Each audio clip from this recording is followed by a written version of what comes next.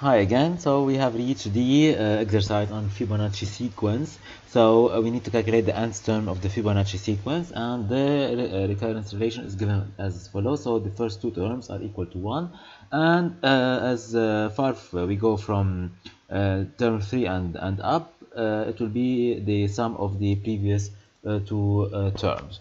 So for term 3 it's equal to u1 plus u2 so it, it will be equal to 2 and uh, so on uh, and on. So let's start. So we need u1 and u2 and then we have un and then we, we need to continue this looping till we reach the number n. So we need to read n. So let's start. I will erase this and uh, let's keep this. So we need u1 u2 and un so let's make it capital and uh, we need uh, n for the number that we read the term and we'll need a counter. So we need to, to read n so uh, forcibly n should be a, a positive number. So I will uh, embrace it. I will put it in a do while so enter n. Uh, f percentage d address of n. And I will keep reading as long as n is maybe maybe we'll do it even if it's if it's uh, less than zero. So if it's one i will i will return uh, u1 and if it's two i will return u2 so uh, as long as n is less than one so if it's less or equal than zero i will ask the user to re-enter the number. So i will initialize u1 equal u2 and uh, let's say that i will place also un equal u1 equal u2 equal 1 so if the user enters 1 I will I will uh, uh, output the value un if the user enters u2 I will uh, output the value un so at the end here I will uh, print f I will so say the value of term n is equal uh, to u of n. So here I, I will place n and un so if the user enters 1 or 2 I will have un so if the user enters a, a, a, number or of n uh, which is higher than 1 or 2 I need to do the calculation so how I will do the calculation? So if for example he enters the n equal to 3 so I should calculate u1 plus u3 hmm? so this is here obvious. So if he enters u uh, n equal to 3 I should do u1 plus u2 so and what if he enters u4 so u4 it will be equal to u3 plus u2 so what I will do is that I will I will keep looping. So the loop will goes from where? So I have here the counter i.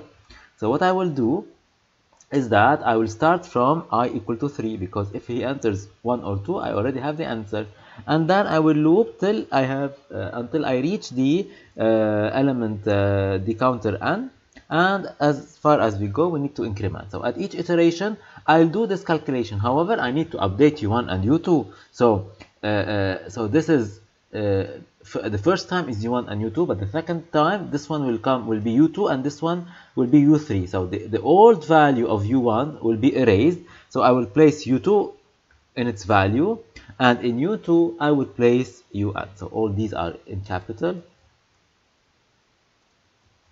So let me repeat. So uh, you should understand this from uh, the case where n is equal to 3 so in the case where n is equal to 3 I will do u1 and u2 and then okay okay this is just for one case equal to 3 what if it's it's for a general case? So I need to do a for loop. So at each iteration I need to do this summation. However at the end of, of course I will print un however and I need to update u1 and u2 so uh, as you can see the, the, the term un is equal to the sum of the two previous uh, uh, terms. So as we do the iteration so u2 will, will come into u1 because if for example I'm doing the the term un it's un minus 1 plus un minus 2 so and, and uh, before that we have calculated un minus 2 in terms of un minus 3 and un minus 4 so this term is in common.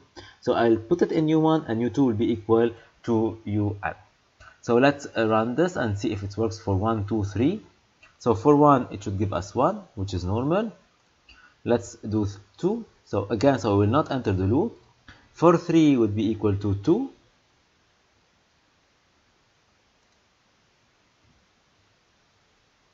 and then for the term 4 so it's equal to u3 uh, plus u2 which is equal to 3 uh, to 3 plus 1 uh, 2 plus 1 which is equal uh, to 3 let's do the 5 which is right which is equal to 3 plus 2 so this is uh, this is the solution. So the trick is here just here. So um, in, order to to check uh, the uh, value of um so we have all, also other questions in the book which ask us to uh, find the uh, the maximum value and the maximum term uh, that we can have using uh, int long or uh, double and long double. So int so what is the maximum and so how can we write the code of that? So for this the user won't enter the number n and we need to calculate the maximum value. So how we can calculate maximum value? So here i will not reach n I will do uh, other calculations. So what I will do that is the the uh, the condition will change here. So I will uh, continuously looping, and I don't know before that when I will finish. So for that we will use an infinite loop. What does it mean infinite loop? It means it will loops infinitely. So I, I will not get out from this. So one here it means true. While true, it's always true.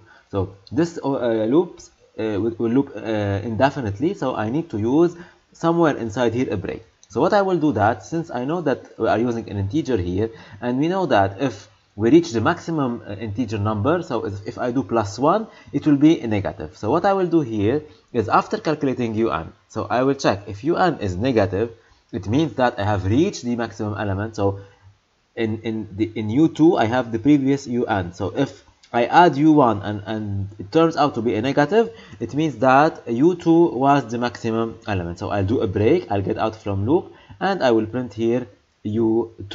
So let's run it. So it will take, uh, so, so here there's no n, so I need to calculate the term. So for that I will use i. In i here I will keep uh, i, i equal to 3 and I will do here i plus plus. Let's, let's place it at the top here and let's see the term the maximum term I will place i also so there's no n no more. So we found that maximum if I'm using integer I can calculate the Fibonacci term number 48 so it's equal to 48 so here it's not 48 because we have uh, i equal to 3 so it should come here and we will place minus minus since we have calculated the term u2 before incrementing the element so let's run rerun it again. It should be 46.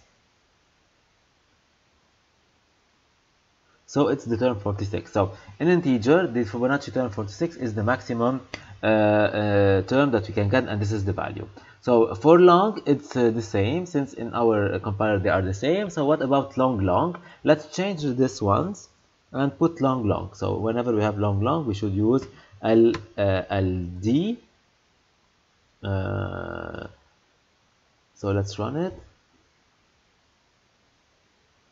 So in long we can reach the term 92 and this is the term the maximum term. If we are using uh, double so they are asking to use double. So in double um, we cannot have uh, a un negative because uh, um, I have uh, placed a video, a bonus video about how we can represent uh, floats and real numbers in memory. So you can click on top of this uh, video on the top right. There's an information icon, so you can uh, click it to view the video. so we, we don't have the same representation as an integer. So if we reach the maximum, we will move directly into a constant called infinite. So we need to check if it's infinite or not. So we cannot check if it's negative or not. So there's a function called uh, is inf and it's in uh, in the library math math.h so we need to include math.h so we don't need this. So it's in math and if it's equal to infinite un it will get out. So let's run and see what's the maximum value. So here we have lf it's not ld